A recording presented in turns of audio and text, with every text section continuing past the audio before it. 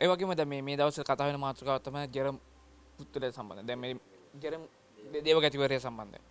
විශේෂයෙන් දැම් මොහු රටින් පැනගියා කියන කතාවක් කියවෙනවා. විශේෂයෙන් පහුගේ කාලය තුළ විරෝධතාවය ආවා.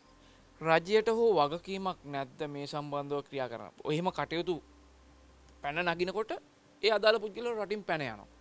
එහ ඒක කාලාන්තරයක් වෙච්ච සිද්ධියක් එක මොකක් හරි දෙයක් වෙනකොට පැනල යනවාහරි හොම සැකයක් ඇතිවෙන්න පැම ආරක්ෂ පතිට මොකහරි පති දැන නොන එහෙම වෙන්නේ ඇයි ඕක හැමදාමලනික ඔබතුමල්ල තියාගෙන නද? ඔප්ෂණයක් දිට මකර එළගම අදය මතුවෙච්ච ගැටලුවක්. මේ කාලාන්තරයක් තිස්සේ ඇදීගෙන ඇදීගෙන ප්‍රශ්නයක්.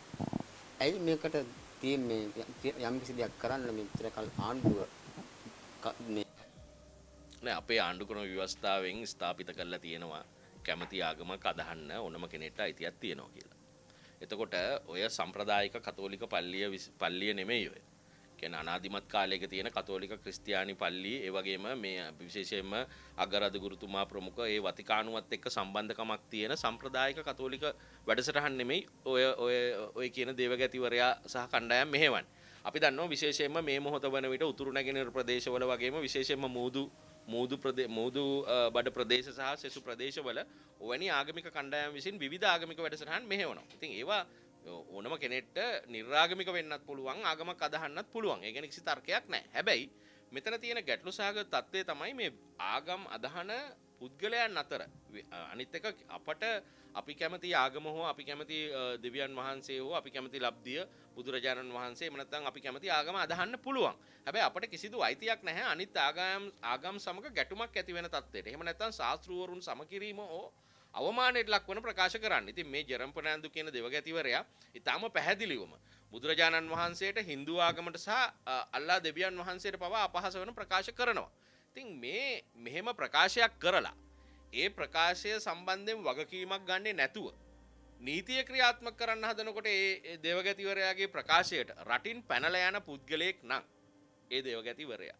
එයාගේ එයාගේ ආගම අදහන අනුගාමිකයන්ට අපි කියනවා මෙවැනි පුද්ගලයෝ කියන කතා විශ්වාස කරලා ඔබට දෙවියන්ගේ ළඟට යන්න පුළුවන්ද ඒක ඇත්තටම ජෙරම් ප්‍රනාන්දු තමන්ගේ ඔය ටයිකෝඩ් ගලවලා නිරුවත පෙන්න්නපු අවස්ථාවක් ඉදිරිතම අපි දකින්න. තොට ජෙරම්ප නෑන්ඩු සහ මෙවැනි පුද්ගලයෝ මේ ආගම මූලික කරගෙන සමාජය ඇතුළ විධ ප්‍රශ්න අපි දන්න පෘතක්ජන මිනිස් විදිර අපිට විශාල ප්‍රශ්නතිකක් තියෙනවා. ඒ ආර්ථික ප්‍රශ්න වෙන්න පුළුවන් සෞඛ්‍ය ප්‍රශ්න වෙන්න පුළුවන් පවුල් ප්‍රශ්න වෙන්න පුළුවන් ඒවගේම විවිධ ඇබ්බැහිවීමට ලක්වෙච්ච පුද්ගල ඉන්න මේ අයට මේ විවිධ කතා කියලා මේගොලු කරන්න බිස්නස එකක් ව්‍යාපාරයක්. ති මංහිතන්නේ එතුමා අතේ පලදින ඔරලොසුව කෝටි ගානක් වටිනවා. අර දාලා ඉන්න මේ කුරුසේ තනිකර රත්තරනින් හදපුවා. මේ සුකෝබ්බෝවි ජීවිත ගත කරන්න ආගම පාවිචි කරන කණ්ඩෑම් මේ ගොලොන්ට ඕනේ බේද බින්නතාවය ඇති කරලා.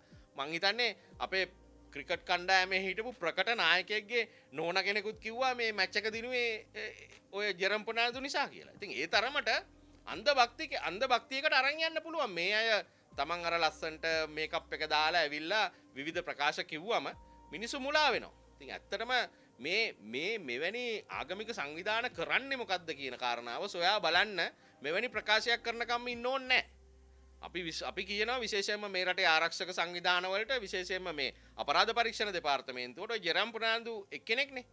ඔය එක ජන ජෙරම් ෆ්‍රන්ඩු කෙනෙක් තමයි ඉස්සරහට අවිලෙන්නේ ඕන තරම් ජෙරම් ෆ්‍රන්ඩ් වල තව ඉන්නවා ආගමික නිකායවල් කල්ලිවාදී හදාගෙන. ඉතින් මේකට අපි ආගමකට විරුද්ධව කාගේවත් ඇදහිල්ලකට විරුද්ධව කතා කරනව නෙමෙයි මෙවැනි දේ ගැන සොයා බලලා මේ අය මතු කරන සහ පතුරවා හරින මේ දුර්මත ආගමික සංහිදියාවටයි මේ රටේ සාමයටයි මේ රටේ ජනතාව අතර තියෙන මේ හැමදාම අපි කිතුණු භක්තිකයන් සහ බෞද්ධයන් අතර තිබුණේ සහෝදර බැම්මක්. ඉතින් මේක නැති කරන්න උත්සාහ කරනවා. ඒ වගේම මුස්ලිම් සහෝදරවරු, හින්දු සහෝදරවරු සහ අපි අතර මේ ඇති වෙලා තියෙන සංවිධියාව බිඳ දාමමින් රට ඇතුලේ ප්‍රශ්න ඇති කරන ජාතියන්තර බලල්ලත් වෙන්න පුළුවන් මේ පුද්ගලයෝ. ඉතින් ඒක නිසා මේවා ගැන සැලකිල්ලෙන් ඉන්න කියලා මෙවැනි සිද්ධියක් වෙන වෙලාවකදී හැම විටම විමර්ශනයේ යෙදමින් මේ අයගේ ක්‍රියාකාරකම් ගැන සැලකිල්ලෙන් ඉන්න කියලා අපි ආරක්ෂක අංශවලට කියනවා.